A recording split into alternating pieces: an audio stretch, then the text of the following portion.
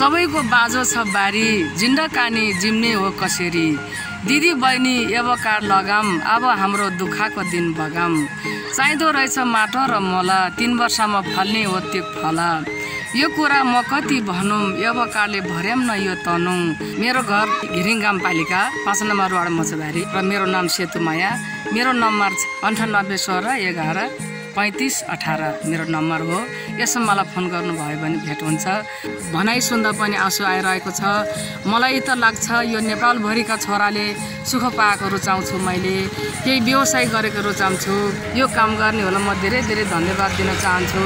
किनभने अरबको खाडीको कुरा सुन्दा पहिला पनि मेरो आँसु आइरहन्थ्यो।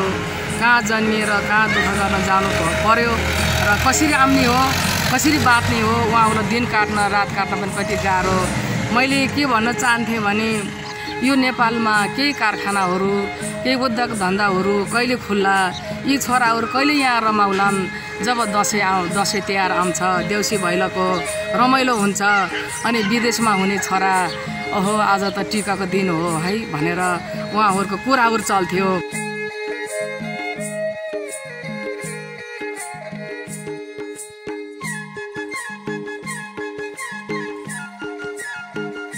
दर्शकवृन्द नमस्ते। तपाईँ सम्पूर्ण सम्पूर्ण नेपाली मनहरूमा हुलाकी खबर युट्युब च्यानलमा तपाईँलाई स्वागत छ। म सन्तोष बिका।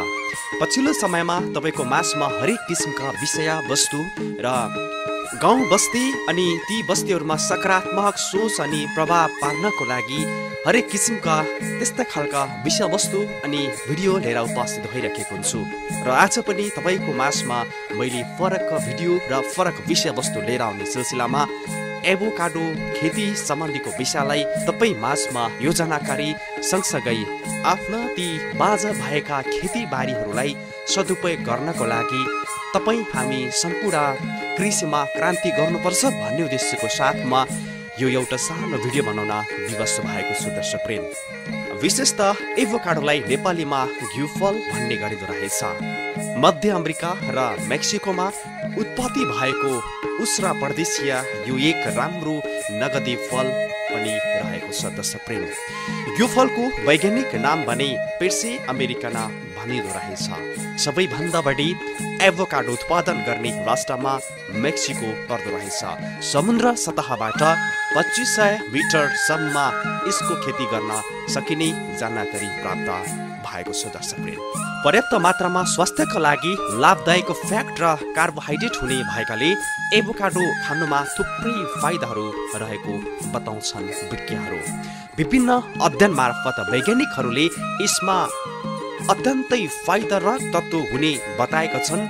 नेपालका विभिन्न ठाउँमा एभोकाडो फलेको पाइए तापनि मानिसले यसको महत्त्व नबुझेकाले सेवन गरेको भन्ने पाउन सक्दैनौँ। संसारकै फल मध्येमा धेरै पोषक तत्त्व भएको फलका रूपमा लिइने एभोकाडो नेपालको पूर्व पहाडी जिल्लामा केही वर्ष अगाडिदेखि व्यावसायिक खेती सुरु भएको पाइँदै आएको छ। नेपालमा पाखोबारी काल्ना र खोला छेउमा समेत यसको बिरुवा हुर्काइरहेको पाउन सक्दछौँ।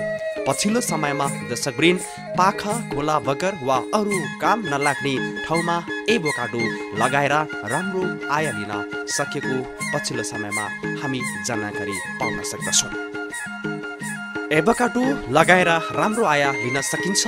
नेपालका पहाड तराई घोस बेसी मध्य पहाडभित्र मधेसमा एभोकाडो मजाले फल्छ। एभोकाडो हुर्काएपछि पचास वर्षसम्म फल दिन्छ बिरुवा लगाएको तिन वर्षदेखि पाँच वर्षसम्म फल दिन सुरु गर्ने यसको एकै बोटबाट एक हजार किलो एनाकि एक सयदेखि पाँच सयवटा फलसम्म हामीले पाउन सक्ने जहाँ अनुसन्धानकर्ताहरूले बताउनुहुन्छ दर्शकप्रेमी त्यसैले यस विषयमा आज कोभिड उन्नाइस कोरोना भाइरसको सङ्क्रमण सँगसँगै विश्व आक्रान्त भए लगतै भोलिको भविष्य के हो भनेर आफ्नो भविष्यप्रति चिन्तित हुनुहुनेहरूको लागि सम्पूर्ण नेपाली मनहरूलाई एउटा जानकारी मूलक सन्देश रहन सक्दछ र पक्कै पनि भोलिको भविष्य के हुनेछ भनेर तपाईँ चिन्तित हुनुहुन्छ भने तपाईँले एकपटक एभोकाडो खेती गर्ने कि? त्यसैले आउनुहोस् कुरा गरौँ। तनहुँ कि एक मात्रा एभोकाडो व्यवसायी शिव मन्दिर फर्म दर्ता गरेर करिब विगत दुई वर्षदेखि एभोकाडो खेती सञ्चालन गर्दै आउनुभएकी सेती माया विकसेगाको संवाद तपाईँलाई जस्ताको तस्तै राख्न गइराखेको छु। दर्शक वृन्द तपाईँलाई यो भिडियो हेरिसके पछाडि जस्ताको तस्तै सुझाव सल्लाह प्रतिक्रिया र निरस भइराखेको मनलाई पक्कै पनि तपाईँले सम्हालेर आफ्नै देशमा गरे के हुँदैन र यही एउटा भनाइलाई पक्कै पनि तपाईँले सार्थक त मान्नुहुनेछ नमस्कार। सन्चै हुनुहुन्छ छु। अनि पछिल्लो समयमा तपाईँले कसरी तपाईँको समयलाई अगाडि बढाइराख्नु भएको छ? मैले एउटा यो नेपालभरि नै नेपालको छरिएर बसेका दाजुभाइ दिदीबहिनीलाई यो बाँझो बारीले स- केही गरोस् र आम्दानी दियोस् र निर्वाह निस्तार होस् भनेर मैले एउटा नर्सरी खेती गरिरहेको छु। अहिले मेरो नर्सरी खेतीमा छ एभोकाड कफी ड्राइगन फुल गरिरहेको छु। मेरो अ, बसाइ मचबारी वार्ड नम्बर पाँच घिरिङ गाउँपालिका मेरो नाम सेतु माया बिका र नर्सरी शिव नर्सरी फार्म हो। शिव नर्सरी फर्म कति समय भयो तपाईँले यसरी सञ्चालन गरेर व्यावसायिक रूपमा अगाडि बढ्नु भएको मैले दुई वर्ष भयो। दुई वर्षको अनुभवमा विशेष गरेर एभोकाटो भनेर पछिल्लो समयमा नेपालीको माझमा नयाँ हुन सक्दछ। यसलाई तपाईँले कसरी बुझाउनुहुन्छ? यो विषयमा के जानकारी गराइदिनुहोस् न। मैले यो जानकारी मैले पनि यो चार नम्बर प्रदेश तालिममा झिकाउनु भयो नरदेवी पुनले आयोजना गर्नुभयो र हामी आठ जिल्लाका मान्छे व्यक्तिहरू पुगेका थियौँ। हामी पचासजना मध्येमा मेरो नम्बर आयो र मलाई उहाँहरूले अनुमति दिनुभयो तपाईँले यो तनुङमा यसको काम गर्नुपर्छ यो नर्सरी गर्नुपर्छ र हामीले यो बजार खोल्छौँ।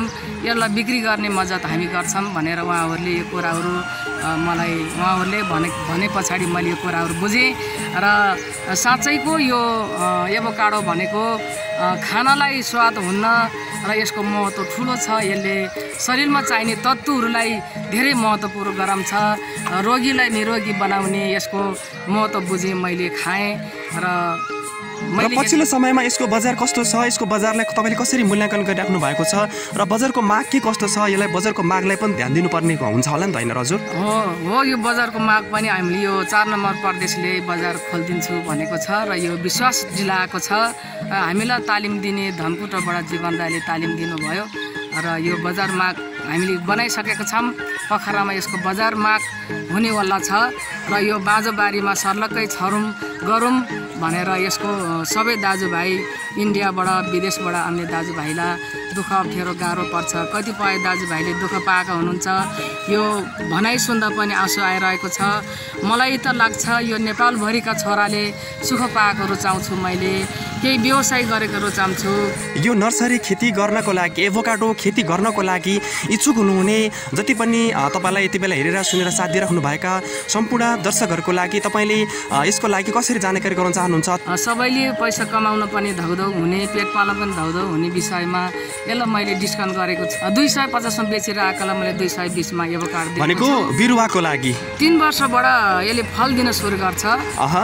यसको बजारको माग के कस्तो छ? यो बजारमा कसरी कति रुपियाँको केजीमा बिक्री वितरण भइराखेको अवस्था छ? यसलाई पोखरामा पाँच सय रुपियाँ केजीमा बिक्री भएको छ। यसको जुस हुन्छ यसको रोटी हुन्छ यसको बिस्कुट हुन्छ मिठाई हुन्छ। मलाई एभोकाडोको बिरुवा चाहियो है भनेर त्यस्ता खालको इच्छा जाहेर गर्नेहरूको लागि चाहिँ तपाईँले कसरी सहयोग गर्नुहुन्छ नि? र यति बेला हामीलाई यति बेला होला कि खबर युट्युब च्यानल हेरेर साथ दिइराख्नु भएको छ। र सँगै तपाईँले यतिन्जेलसम्म हामीलाई हेरेर सुनेर साथ दिनु हुनेहरूको लागि तपाईँलाई यति बेला साँच्चै नै भन्नुपर्दछ ती अरबको खाडीबाट ती विदेशको भूमिबाट नेपाल फर्कने क्रमहरू धेरै छ। किनभने विश्व आक्रान्त भइराखेको छ आर्थिक मन्दीको कारणले गर्दा। अब साँच्ची नै हाम्रो भविष्य छैन भनेर चिन्तित भइराख्नु भएका ती नेपाली दाजुभाइहरूको लागि हाम्रो नेपालमै आइसके पछाडि तपाईँसँग भेटिसके पछाडि तपाईँको जानकारी पाइसके पछाडि तपाईँबाट सहयोग कस्तो खालको सहयोग हुन सक्दछ यो विषयमा जानकारी गरिदिनु सँगसँगै तालिमको आवश्यकता रहन्छ होला। उहाँहरूलाई यस्तै खालका सूचना जानकारीको आवश्यक पर्छ होला। त्यो विषयमा पनि तपाईँले केही कुरा बोलिदिनुहोस्। म तालिम दिन उहाँहरूलाई मैले के सहयोग गर्न सक्छु भने उहाँहरूले मलाई खोज्दै आउनुभयो मलाई भेट्ने मन गर्नुभयो। यो तालिम दिन सक्छु मैले र यो खाल्टो दुई हातको खाल्टो खन्न पर्छ यसलाई। अनि खाल्टो खनिसकेपछि तल अलिकति हरियो परियो कुहुने चिजहरू जस्तो पाती बनमासा त्यस्तो कुराहरू पहिला खाल्टोमा राख्ने पछि अलि मलिलो माटो राख्ने कम्पोस्ट मल बनाउनु पर्यो। अनि त्यस कारणले फेरि माटो मल बलुवा वनको माटो चाहिन्छ त्यसलाई राम्रो गराउन।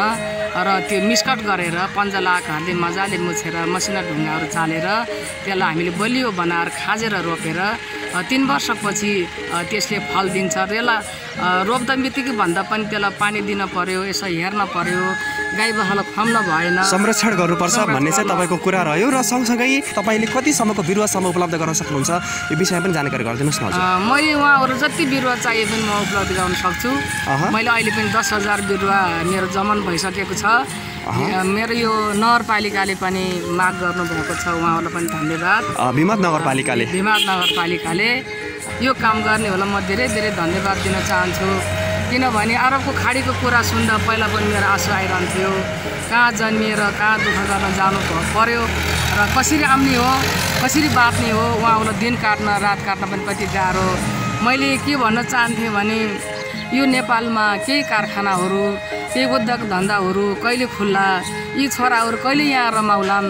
जब दसैँ आउ दसैँ तिहार आउँछ देउसी भैलोको रमाइलो हुन्छ अनि विदेशमा हुने छोरा ओहो आज त टिकाको दिन हो है भनेर उहाँहरूको कुराहरू चल्थ्यो। सबैको बाजो छ बारी जिन्डकानी जिम्ने हो कसरी? दिदी बहिनी एवकार लगाम अब हाम्रो दुःखको दिन बगाम चाहिँदो रहेछ माटो र मोल तिन वर्षमा फल्ने हो त्यो फल। यो कुरा म कति भनौँ एवकारले भर्याम न यो तनौँ। हुँदो रहेछ प्रेसरको दबाई गरिबको दिन आउँछ झन् अझै। बिमारीले पार्दैछ हानि अस्पतालले लिँदैछ आम्दानी। यो कुरा पनि अलिकति हाम्रो यो नेपालको जडीबुटीको दबाई बनाउनलाई पनि मलाई इच्छुक छ। यो बनाउन पनि मैले चाहना गरेको छु। हामी धेरै मान्छेहरू बेरोजगार छौँ। मलाई दिदीबहिनीहरूले पनि यो कुराहरू बुझ्नुपर्छ। हामीले बालबालिकालाई पनि यो सिकाउनु पर्छ हामी घरमा जेल लिएर घरको मात्रै काम गरेर पनि हामी केही नजान्ने भएर बस्ने दिदीबहिनीहरू थुप्रै छौँ। हामी निस्किन पर्छ। यो एभोकाडो भनेको साँच्चैको यो यो नेपालमा त के होला भन्ने अझै पनि धेरै जानकारी छैन। यसलाई धनकुटाको जिल्लामा यो धेरै यसको खेती हुँदो रहेछ र धनकुटाबाटै मैले ओसार पसार गरेँ। त्यहाँबाट मैले यो खाने फल ल्याएँ। त्यसलाई यहाँ कतै व्यापार गरेँ कतै त्यसै खान दिएँ। कतै त्यो त्यसैकै पनि त्यो पाकेर खेर गएर पनि त्यसलाई मैले बिउै मात्रै पनि बनाएँ। यो भिमादको धेरैजना साथीहरूले यो किनिदिनु पनि भयो। ऋषिमा पनि किनिदिनु भयो।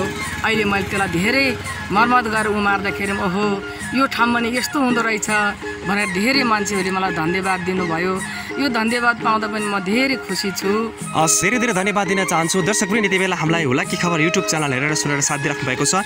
जाँदा जाँदै विशेष त कृषिमा क्रान्ति गर्नुपर्दछ र भविष्य अब हामीलाई विशेष गरेर आफ्नै देशमा र आफ्नै उर्वरा भूमिमा हामीले यो माटोमा सुन फलाउनुपर्छ भने जस्तै गरेर यो भूमिमा हामीले साँच्चै नै आत्मनिर्भरताका ती बाटाहरू खोज्नको लागि हामीलाई आवश्यक रहेको छ दर्शकवृन्द म एभोकाडो फलाएर एभोकाडोको कम्पनी खोलेर यो नेपाललाई एउटा केही गरौँला आर्थिक समृद्धितर्फ तपाईँको एउटा इच्छा प्रकट हुँदै आइराखेको छ र सँगसँगै बेरोजगारी युवाहरू र अहिलेको चिन्तित अवस्थामा सङ्क्रमणकालीन अवस्थामा भइराखेका दाजुभाइहरूलाई एउटा पक्कै पनि ऊर्जा हौसला दिनको लागि तपाईँको साथ र सहयोग छ। होइन हजुर? हजुर हस् एकदमै धेरै धेरै धन्यवाद दिन चाहन्छु र तपाईँको यो महत्त्वपूर्ण सूचना र महत्त्वपूर्ण सन्देश र देशले आवश्यक पर्ने यो सूचनाको लागि धन्यवाद। दर्शकवृन्द तपाईँ सम्पूर्ण जति पनि हामीलाई हेरेर सुनेर साथ दिनुभएको छ तपाईँ सम्पूर्ण सम्पूर्ण ज जसले हुलाकी खबर युट्युब च्यानल हेर्नु भएको छ भने तपाईँले साँच्ची नै आफ्नै देशमा आफ्नै भूभागलाई साँच्ची नै हामीले प्रयोग गरेर आफ्नै भूभागमा सुन फलाउन सकिन्छ भन्ने एउटा एउटा सानो भिडियो यो सानो भिडियोले तपाईँ हामीलाई ठुलो मद्दत पुर्याउनेछ भन्दै म सन्तोष विक पनि आज्ञा चाहन्छु र यो भिडियो हेरिसके पछाडि तपाईँले धेरैभन्दा धेरै लाइक धेरैभन्दा धेरै तपाईँको कमेन्ट अनि सँगसँगै सब्सक्राइब गरेर हामीलाई नयाँ नयाँ भिडियोहरू हेर्नको लागि पक्कै पनि सहयोग गरिदिनु हुनेछ भन्दै म सन्तोष विक पनि आज्ञा चाहन्छु। नमस्ते।